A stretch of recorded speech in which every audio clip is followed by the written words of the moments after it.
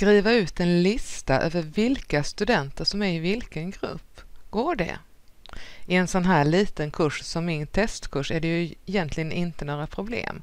Jag kan bara maximera grupperna så här så att jag ser på skärmen vilka som är i vilken och sen göra en skärmdump så att jag kan skriva ut det. Men du har förmodligen många fler studenter än jag och då kan det underlätta att gå via Excel. Det är några steg som behöver göras här men håll tungan rätt i munnen så ska jag visa hur jag gör. Det första steget är en inställning i Canvas.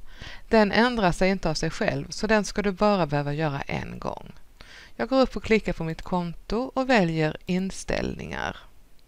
Och så rullar jag längst ner på den här sidan. Och här under funktion så ska jag välja att semikolon ska användas i exporter. Och då klickar jag på det röda krysset och ändrar det genom att välja att det ska vara aktiverat så jag får en grön bock där.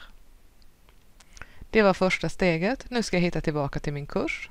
Och grupperna har jag ju under personer och sen kan det finnas flera olika gruppuppsättningar och den jag ville skriva ut ligger under arbetsgrupper. Här går jag nu ologiskt nog upp och klickar på importera. Och när jag kommit hit så väljer jag att jag vill ladda ner deltagarlistan som CSV-fil.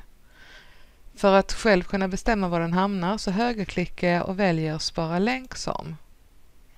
Och då kan jag välja vad jag vill spara och jag vill ha den på skrivbordet. Den lista jag nu har sparat ner den är ett format som heter CSV. Och det kan vara lite knepigt att läsa CSV-filer. Och då brukar jag göra så här att jag börjar med att öppna Excel. Och här ska jag nu inte öppna filen direkt. För då ser det lite knasigt ut. Utan istället så väljer jag att jag vill göra en ny tom arbetsbok.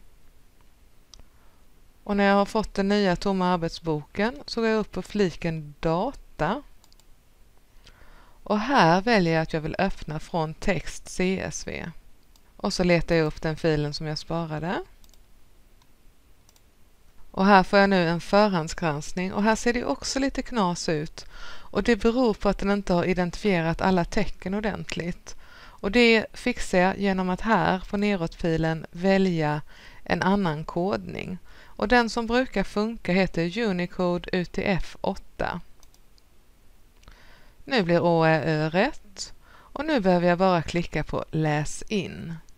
Och här har jag min lista. Jag fick ju lite mer information än vad jag vill ha så jag tar och markerar de kolumnerna som jag faktiskt inte bryr mig om. Och sen så går jag till startfliken och väljer att ta bort de kolumnerna. Och jag bryr mig heller inte om Canvas beteckningar på dem, så de kan jag också ta bort.